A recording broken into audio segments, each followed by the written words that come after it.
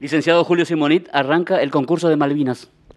Así es, desde el Ministerio de Educación y a través de la Dirección de, Planeamiento, en coordinación con los distintos niveles y con las distintas modalidades que atraviesan el sistema educativo y en especial con la coordinación intercultural bilingüe, nos encontramos eh, trazando distintas líneas de trabajo con distintas propuestas desde el mes de marzo.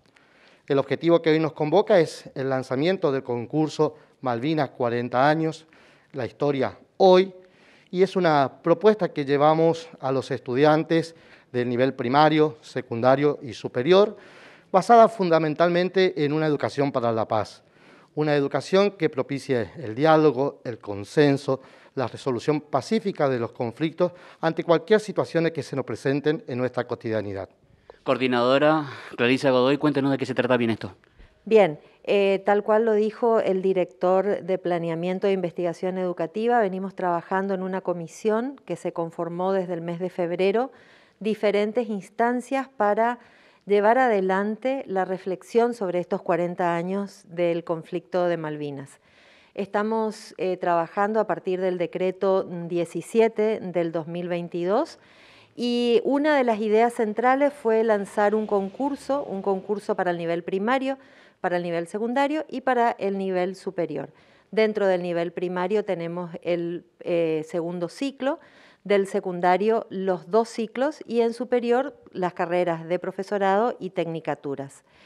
Eh, los objetivos son, por supuesto, el conocer y analizar los hechos, eh, por parte, no solamente como una reflexión, no solamente por parte de los docentes, sino también la construcción de cómo fueron estos hechos y el análisis crítico de cómo fueron los hechos dentro de cada una de las, de las aulas y de los grupos de trabajo.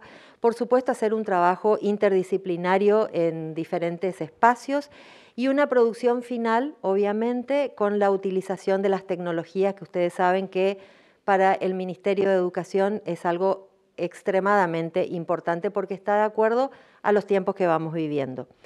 Eh, tal cual lo dijo también el director Simonit, eh, estamos trabajando eh, una construcción de mensajes de paz, una construcción en la cual nosotros podamos reflexionar sobre cuánto se gana en una mesa de diálogo y cuánto se pierde en una batalla, en un campo de batalla. Es por eso que hemos lanzado este concurso ya hemos dicho los destinatarios, y eh, hay tiempo para inscribirse hasta el 27 de junio en el caso del nivel superior y el 9 de septiembre para los niveles primario y secundario. ¿Este concurso abarca toda la provincia? Por supuesto, como todos los que largamos de manera institucional, es provincial. Ustedes creo que desde prensa ya vienen este, promocionando el concurso y están en esta información están cargados los links donde pueden acceder a todas las bases. Coordinadora, muchas gracias. A ustedes.